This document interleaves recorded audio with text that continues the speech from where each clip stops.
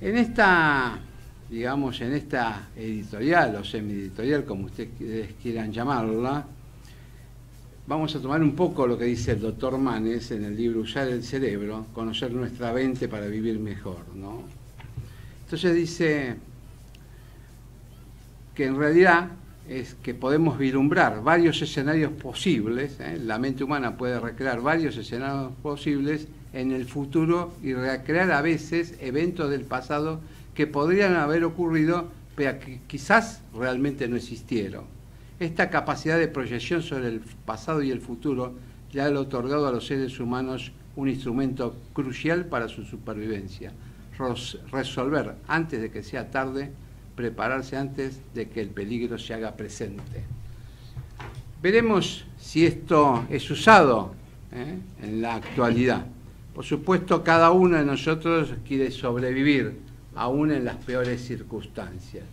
Y en el escenario socioeconómico que hoy estamos inmersos en el mundo, tenemos que decir varias cosas, ¿no? Por un lado, el ser humano quiere protegerse hay que ver si los políticos lo dejan. Por un lado, Rajoy, el presidente de, los, de los ministros de España, ha acusado reiteradamente a Rusia de inmiscuirse en asuntos internos, esta vez en el caso de Cataluña.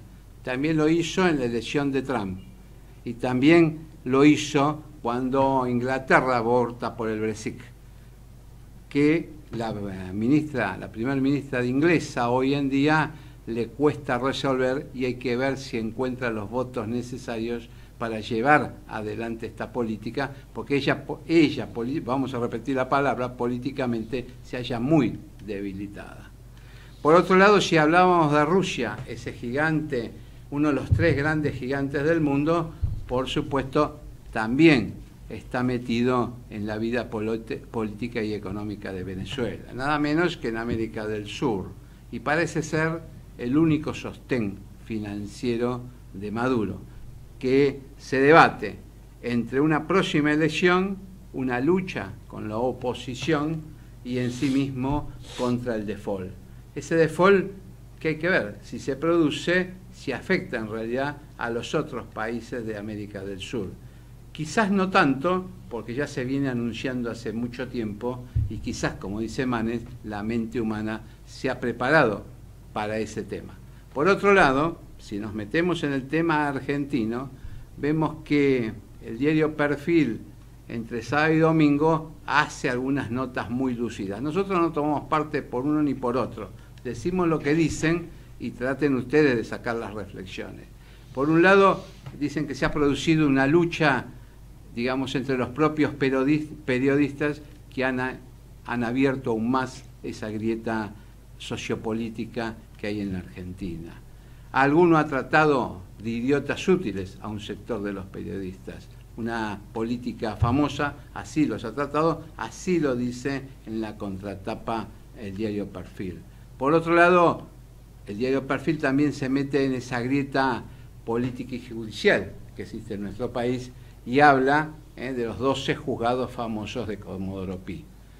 Por supuesto, no habla con florcitas rosas y de colores, ¿no? Habla y los critica a los jueces y trae a la luz algunas cosas de su pasado, que, por supuesto, nosotros que somos simplemente comentaristas, las decimos. Estas cosas lo que hacen es abrir aún más la grieta y a lo mejor son bombas de humo para lo que realmente pasa en la Argentina, donde los índices de pobreza parece que han bajado, pero es realmente una mentira. Bajaron los índices de pobreza, pero subieron, por otro lado, los índices de indigencia, cosa no menor.